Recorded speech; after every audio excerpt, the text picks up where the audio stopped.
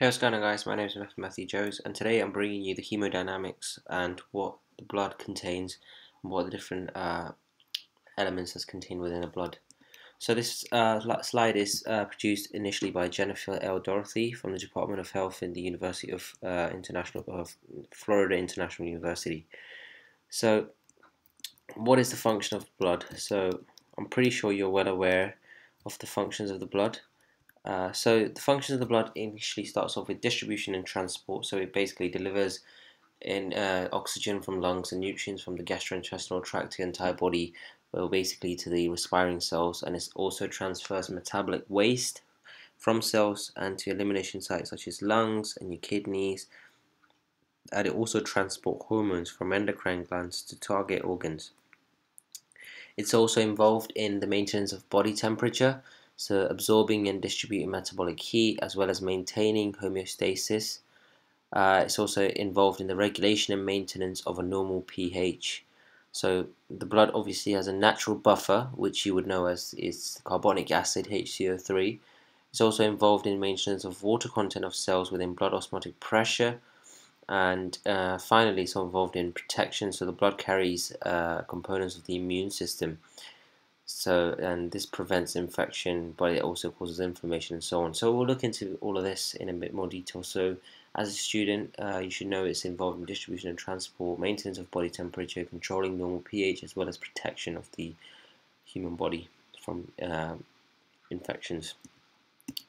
So the blood is a fluid connective tissue composed of two things. It's composed of an organic portion uh, as well as an inorganic portion. The organic portion includes erythrocytes, uh, or the let's just uh, um, as well as leukocytes, which are white blood cells, platelets involved in uh, platelet formation, and plasma proteins. The inorganic side of it is formed via plasma. So, the liquid part of the blood, composed of water and mixture of organic uh, substances, is 92% water, 7% plasma proteins, less than 1% other materials, and even less than that uh, electrolytes, buffers, nutrient gases, hormones, waste, etc. The function of the plasma transport nutrients and gases. They regulate fluid and electrolyte balance, uh, balance and helps maintain a stable pH. So the plasma is only 55, 45% uh, of the blood anyway. And of that 45%, 92% of it is water, 7% is plasma proteins, and so on. So, from the previous slide, it contains two parts. It has an organic portion, which is cells or formed elements, such as erythrocytes, red blood cells, leukocytes, meaning white blood cells, platelets, and plasma protein. And the inorganic contains the plasma. And the plasma contains 92% water, 7% plasma proteins, like albumin and so uh, other things, and then other uh, very small quantities of electrolytes and buffers and so on. The function of plasma include transporting nutrients and gases, regulate fluid and electrolyte balance, and helps to maintain pH. So, the plasma is very similar to interstitial fluid, except it has way more proteins in it. And the proteins remain in the plasma and cannot easily move into the interstitial space because of the structure of the blood vessel and a serum is um, usually a plasma without without the plasma protein. So with the plasma proteins taken out that's what a serum is. Now plasma proteins has functions. They maintain uh, osmotic pressure maintain blood pH and also clotting as well as immunity. Now the plasma protein comes in three groups. So you have the um, Albumins, like I said, they comprise 55% of plasma proteins and their function is to maintain osmotic pressure. Globulins um, comprise 36% uh, of plasma proteins and they transport ions, fats, and fat soluble vitamins in the blood. They have gamma globulins function as antibodies in providing uh, immunity, so IgG, IgA, IgE, which we will look into when we do the immunity um, physiology behind the immune system. And you also have fibrinogen, which comprises of 7% of the plasma protein. So altogether, 55 plus 36 plus 7 should give you 100. And um, fibrinogen is used in the um, platelet clotting function as clotting as I mentioned. Right. Formed elements, so this is part of the organic now, i.e. living. They contain erythrocytes, RBC, red blood cell, leukocyte, white blood cells, and platelets. These are synthesized in the bone marrow, and in the children, the marrow of all bones produce blood cells. In adults, only the uh, marrow of the flat bones of the skull, sternum, pelvis, and the long bones of the upper limbs produce blood cell. Okay, so hematopoiesis is a process where by which red blood cells are formed. Now, red blood cell is one of the most specialized cells inside of the body and it carries what's known as an hemoglobin. Hemoglobin comprises of one third of red blood cells total weight. In adults, your normal red blood cell count per millimeter should be about 5 to 6 million millimeter cube, so cubic millimeter.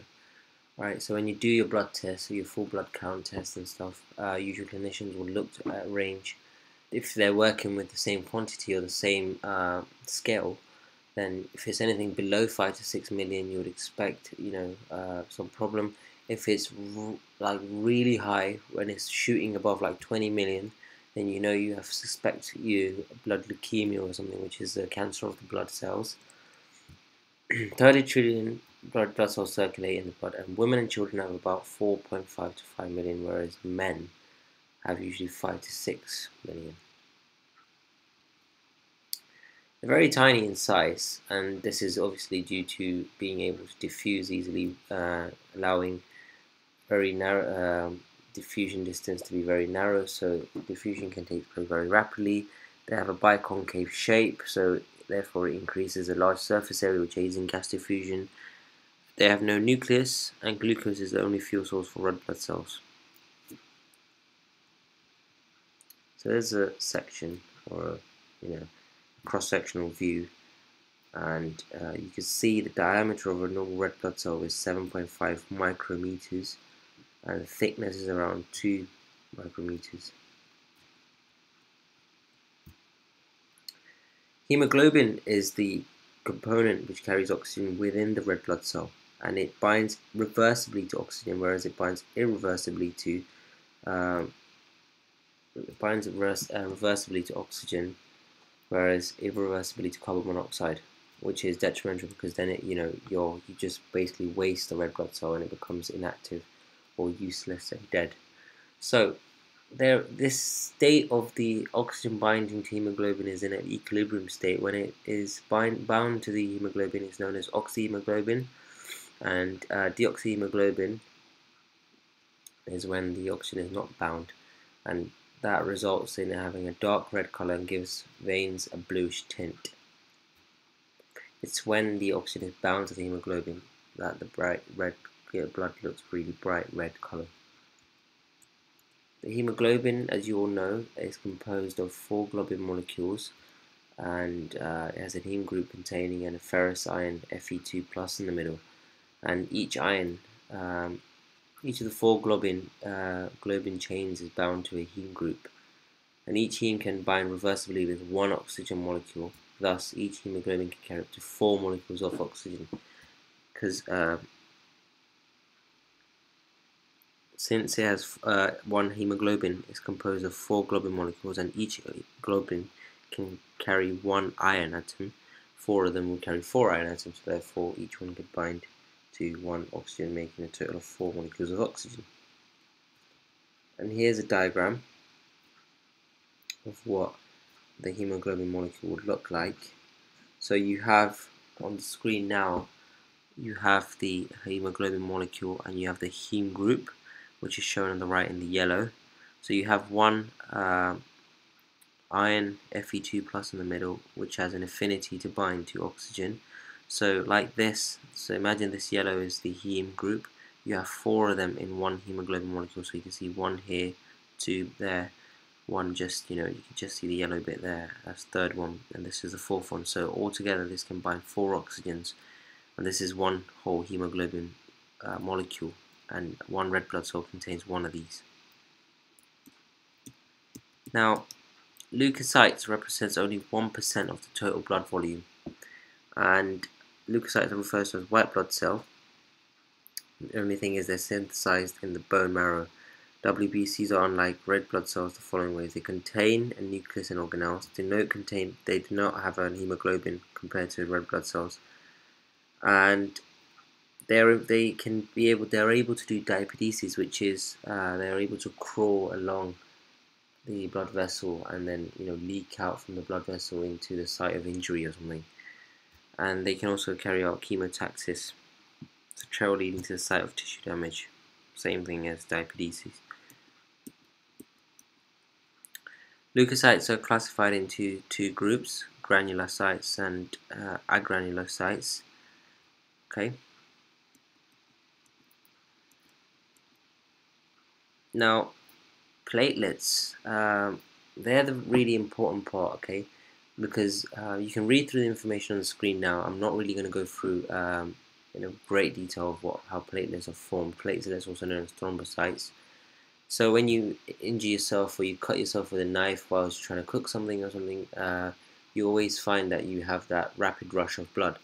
And you always try to either run your hands underneath cold water or you try to suck your finger, uh, uh, lick the area where you just had a bleed or you, you know eventually getting down to putting a plaster or a bandage around it.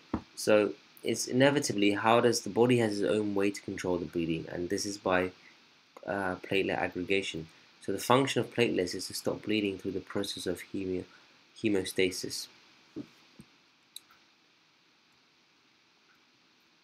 So they stop um, bleeding in a small blood vessel or in a superficial cut by physically plugging breaks in blood vessels. So it acts as a plug. So you have when you have water running through a sink or something and you want to store the water instead of letting it drain straight through the sink, um, you always put a plug right so similar way what the platelet does is it forms a it, uh, it forms a plug which then goes into the site of injury and just you know blocks the whole way blocks the hole so therefore blood is not leaked out anymore so uh, the platelet aggregation or blood clotting is involves three main phases the first one is the vascular spasm next is the platelet plug formation and then the last one is the formation of the blood clot which we'll go through in a different video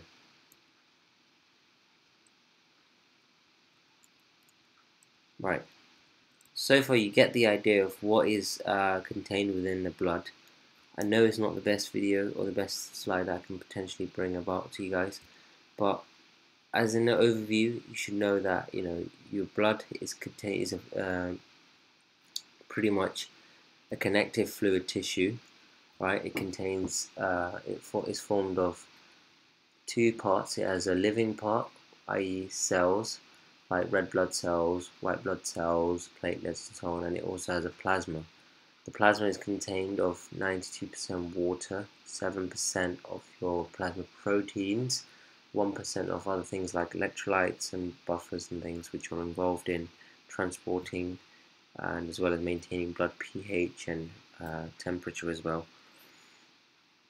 The other aspect of the living cell, which like the red blood cells involved in carrying oxygen, and gives you that reddish color. Uh, the red blood cells they only account for one percent, but they are involved in protection and immunity or to fight off infection. Platelets are involved in uh, to block or stop bleeding. So hopefully that's just an overview and you've enjoyed the video. You can always find this at our website at www.royalchristcollege.co.uk which will be uh, put in the link or the description. If you enjoy the video, uh, please do like the video and uh, if you like to ever create videos like this where you can educate the world of your knowledge, you can always go to our website, like I said before, and follow the screen instructions on screen and submit your work. And on behalf of RCC, my name is Matthew Matthew Joes. Hopefully you've enjoyed the video. Please do rate, like, subscribe, everything that you can also do to propel this channel. And thank you once again.